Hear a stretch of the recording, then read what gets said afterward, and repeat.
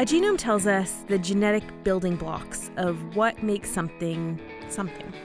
It took over a decade to figure out the human genome, and now a group of researchers are thinking bigger.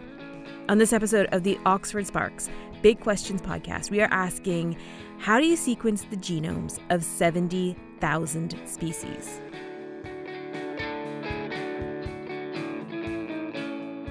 Hello, I'm Emily Elias, and this is the show where we seek out the brightest minds at the University of Oxford and we ask them the big questions. And last time we spoke to this researcher, it was about bedbugs, so hopefully this time around there will be less anxiety and creepy crawlies on your skin. Hello, uh, so I'm Dr. Liam Crowley, and I am a postdoctoral researcher in the Department of Biology at the University of Oxford and I am working on a project called the Darwin Tree of Life project. What is the Darwin Tree of Life project? So, the Darwin Tree of Life project is a very exciting, ambitious project, uh, which is a collaboration between lots of different institutions, including universities, but also uh, museums and botanic gardens. And we have the ultimate aim of trying to sequence the full genome of every single species of eukaryote in Britain and Ireland. That sounds like a lot of species. Yeah, ambitious is definitely a good word to describe the project. So, based on our current list uh, of what we uh, expect there to be in uh, Britain and Ireland, is more than 70,000 species of animal, plants, and fungi and protist. Maybe we should start from the basics. What exactly is the genome that you're sequencing? So, the genome is all of the genetic material held within the cells of these organisms.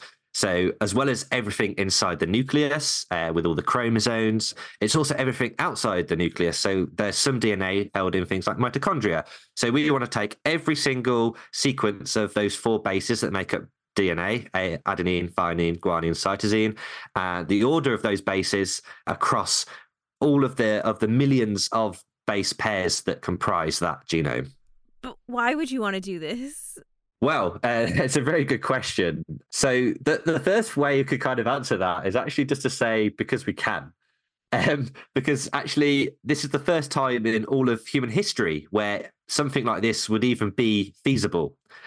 And the first genome that we did, uh, one of the first genomes that we produced was our own genome, the human genome. That took about a decade. And billions of dollars to do just one genome. But actually, that revolutionized all sorts of different fields of research and medicine. So now it's the turn of everything else, the rest of biodiversity. We want to try and eventually sequence all of the DNA on the planet, and it will give us a much greater understanding of all these different species. But also, there's loads of different applications for genomic science. You're into insects. How would you apply this then to an insect? What sort of thing would you be able to take away? Yeah, that's right. Um, I'm an entomologist. I am focusing on trying to find all the different species of insects uh, that we have at Wytham Woods. So then we can then prepare those specimens, extract the DNA, and, and sequence them. And there's lots of different things we can do from this. So I categorize it in two different ways. The, the first of which I would describe as discovery science. So we don't know what we don't know. So actually, just by looking at this, at all this data, uh, we can start to find patterns and, and interesting things going on with the genomes themselves, and we can also see how these different species are evolving and how perhaps they're related to other species and how they're evolving as their convergence or as their unique uh, mutations and adaptations that are arising within specific genes or gene families in these genomes.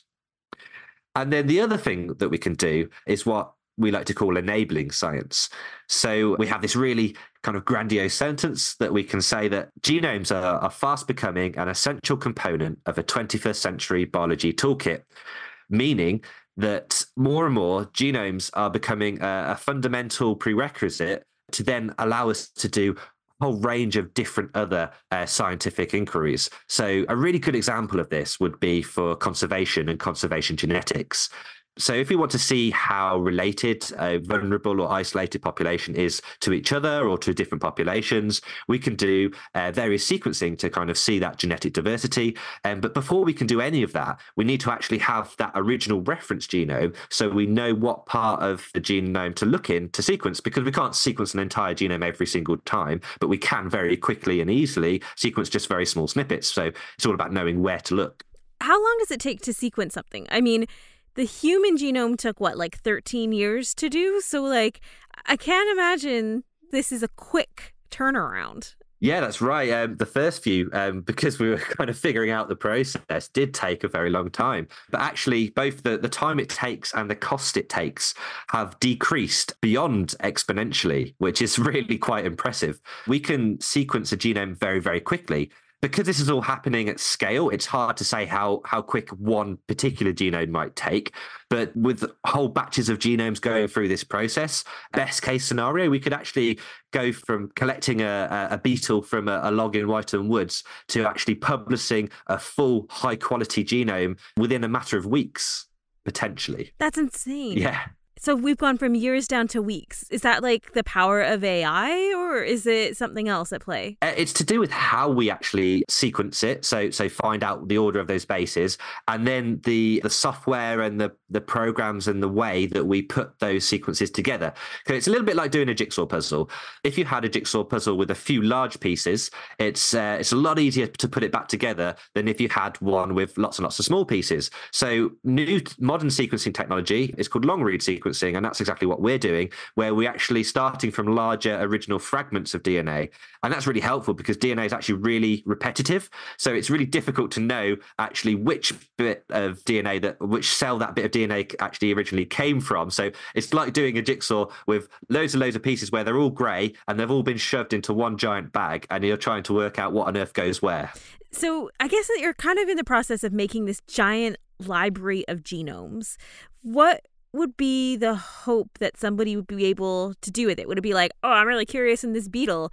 Let me go take out the beetle book and see what's been happening with these guys? Yeah, absolutely. So, one of the big pillars of this project is it's all completely open and available at every single stage. So all of the the draft data uh, and everything is all made available, kind of with the caveat that yes, it's not finished. There may be mistakes. Uh, hopefully, the finished project will be brilliant, and and so far the quality has been unbelievably good. It's almost like we're building a library and we're putting the books onto the shelves, and then anyone around the world can, can come and they can take these books and they can do whatever research they want to do from that. So we already have examples of people using our genomes, mostly in, in genomic science, but also in, in other fields as well, where it's some really exciting projects. Do you have any examples of what people have done with when they take those books off the shelf and what they're they're using it for? Yeah, so there's uh, there's actually some really nice examples uh, from the insects, uh, particularly in, in conservation genetics. So, oh, you would say that you love your yeah, not that I'm biased at all.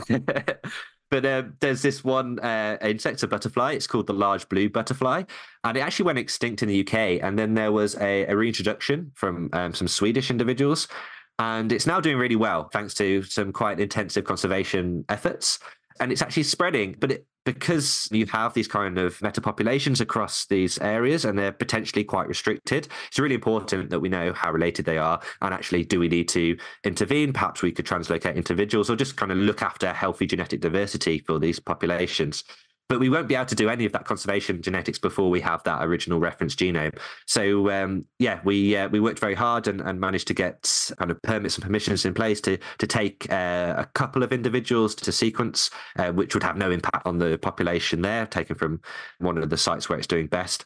And uh, we are now producing that genome. So as soon as that's finished, we have a direct application of people kind of ready and raring to go to then do some some really important conservation genetic work. And how do you produce a genome? Like, do you just like send it to the genome factory and then it's like a spits it out like a box of crackers, or like how does that work? yeah. So um, the one word answer to this would be teamwork. So we have a huge team and process which we have been perfecting over the last four or five years. But essentially, you have someone like me who goes out and, and finds the species, identifies them, and then preserves. So everything is, is flash frozen at minus 80 to preserve that high quality DNA. That then goes to the Sanger Institute uh, in Cambridgeshire, where they essentially break open all the cells uh, and extract that DNA. That DNA can then be checked for quality, uh, and then if it looks like it's uh, good, then it can be loaded onto the sequencing machines. They then determine the order of, of those bases. And then all of that data goes onto uh, the assembly step, which is bioinformatic processes, which then reconstruct the jigsaw. And then there's various kind of post assembly checks of quality. We have other techniques going on at the same time to make sure that all the all the scaffolds and some of the high level structures of the genome are are all being put together correctly. And then it, we're even doing some uh, annotation so we're actually sequencing some of the RNA alongside with the DNA to see where the genes are, and actually can we label um, genes on the genome and and trying to some work related to that. So it's yeah, a lot of different people in in part of this big pipeline, um, but there's seems to be a very good process where we're kind of trying to link back to each other and, and make sure we keep track of, of specimens and everything is is working all to a very high quality. Okay, so you guys have like got a goal of 70,000, seven zero yes, thousand. Yes. Where are you at in that process? Um, yeah, uh, it's a big number, and and the the first thing to say is actually at the start of the project we didn't even really know how many that is. So that's kind of our best guess because actually we've had hundreds of years of, of taxonomy and, and natural history uh, in the in Britain and Ireland, and we still haven't named every single species we think is here, and we're finding there's new cryptic species, or perhaps we've got some stuff wrong in the past. So it's a big ask to kind of complete taxonomy uh, for a nation, but um, we're done. We're doing pretty well. Uh, we have collected uh, more than ten thousand species in the initial phases of the project, and we have been sequencing a large number of these, and we've released um, more than one thousand three hundred genomes so far. But that rate of new genomes coming out is going up all the time. I hate to be that guy, but like, what does this mean for the future? If you are able to sort of like perfect this process, get all of this information, build up this massive library of books that, of species books that we don't even know how big it could be. What could this mean? Well, um, at our launch meeting back in 2019, Professor Mark Blaxter, who's one of the lead investigators for the project, kind of stood up at this internal meeting and said, this project is going to change biology. And at the time, I thought, oh, that that's kind of just trying to g everyone up and, and get everyone enthusiastic. But actually, uh, as it's gone on, there's more. I, I kind of agree. Actually, this this is revolutionary. So as I alluded to before, there's a whole range of different investigative techniques which uh, are, are, unlocked. Um, we, we kind of can call it genome enabled research. So there's all these various t- different things from from sorting out uh, taxonomy and resolving phylogenies to study of evolution and how genomes themselves, as well as the organisms and genes and gene families, are evolving. And then there's the actual well applied uh, applications like the the conservation genetics and even potentially biodiscovery. Again, we don't know what we don't know. There could be all sorts of amazing biological compounds held within the organisms, which are all encoded within the genomes. So, so having that is is really exciting and, and is really important step. And the ultimate goal is, yeah, we want to sequence everything on the planet, particularly in, in the face of the mass extinction event and unprecedented biodiversity loss. It becomes even more important. And, you know, if there's even potential science fiction applications kind of thing in the future with, with de-extincting species, although that's a, that's a whole other tangent. We'll save that tangent for another day.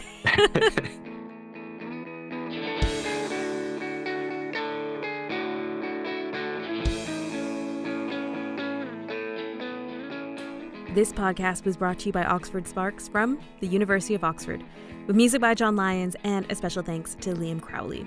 Tell us what you think about this podcast. We are on social media at Oxford Sparks, or you can go to our website, oxfordsparks.ox.ac.uk. It's a pretty cool website. I mean, it's got stuff on it. I'm Emily Elias. Bye for now.